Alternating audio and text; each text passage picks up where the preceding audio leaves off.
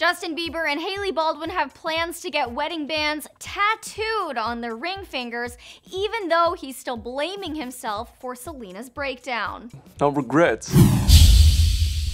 How's it going, guys? It's Devin Howard. Did Pete Davidson and Ariana Grande teach you guys nothing, Justin and Hailey? The two are following in the footsteps of so many young lovers before them and are thinking of commemorating their love with some permanent ink. We've got all the details you're dying to know coming up right now. Well, they're discussing this tat sitch while Justin keeps beating himself up over and over again ever since Selena was hospitalized for a mental breakdown. Alright, so just yesterday we learned that Jailey were eager to start a family and had been house hunting for the perfect place to start their little family. Having kids together is a pretty permanent way to honor a marriage, but it's not quite enough for Justin and Hailey, who also made sure that they'd never want to divorce by not signing a prenup. Well, now the duo feels they need to do one more thing to guarantee that they'll always be reminded of one another, even if they decide to part ways, and that is to get matching wedding band tattoos. The newlyweds newlyweds are discussing the possibility of getting the matching tats, but they haven't made an appointment at the tattoo parlor just yet. A source told Hollywood Life, quote,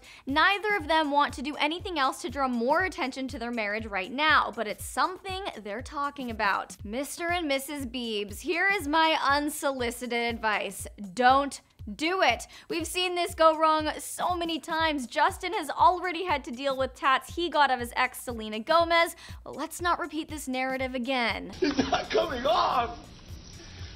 This is a real tattoo. Speaking of Selena Gomez, Justin Bieber is still beating himself up over her current state. Even though he's been making efforts to prove his relationship with Hailey is strong and serious, he also can't forget what his longtime former girlfriend is currently going through. Maybe Justin is cracking under the pressure with his new marriage and his distress over Selena's situation, and he's starting to show it, which is why he's in such a rush to make these lifelong decisions with Hailey. I don't know what's going on here, but something seems a little off. These young couples need to stop rushing to the altar and or tattoo parlor and just take their time. Do you agree with me? Let me know in the comments. And for the latest entertainment news, you gotta click subscribe.